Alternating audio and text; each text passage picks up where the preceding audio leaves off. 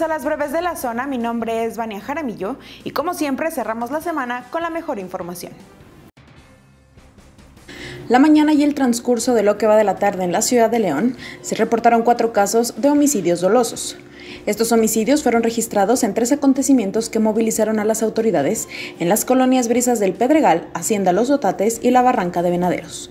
En los cuatro asesinatos no se informó la detención de los homicidas y los casos forman parte de las 26 víctimas de homicidio doloso en el transcurso de este mes de marzo.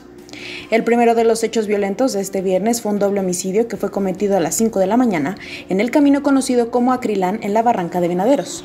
El segundo de los acontecimientos fue reportado a las 9 en un baldío ubicado en la zona departamental de la calle Almadino en la colonia Valle de Otates.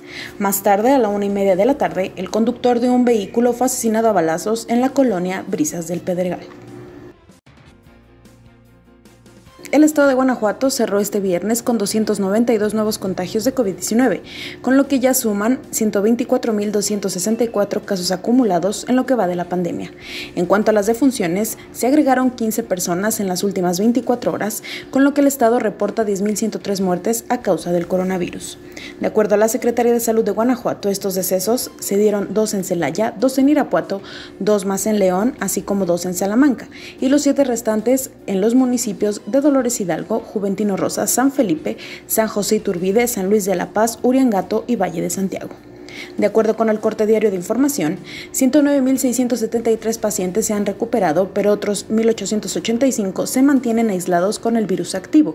De estos, 309 están hospitalizados, 13 se encuentran estables, 237 graves y 59 intubados. Actualmente se investigan 710 casos sospechosos, mientras se han descartado 131.273.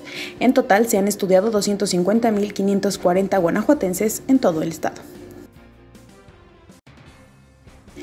Para José Ángel Córdoba Villalobos, exsecretario de Salud, la logística de vacunación contra la COVID-19 en el país pudo llevarse a cabo con mejores resultados en manos de todos los estados. El exsecretario de Salud Federal y ahora candidato a diputado federal por Movimiento Ciudadano señaló que cada estado conoce a su población y se pudo usar para tener una mejor cobertura y rapidez. Incluso criticó que se señale a todos los estados por un mal manejo, asegurando que si hubieran sido los equipos de vacunación los que se encargaban a nivel nacional, se pudieran aplicar hasta 10 millones de vacunas como sucede con otras campañas.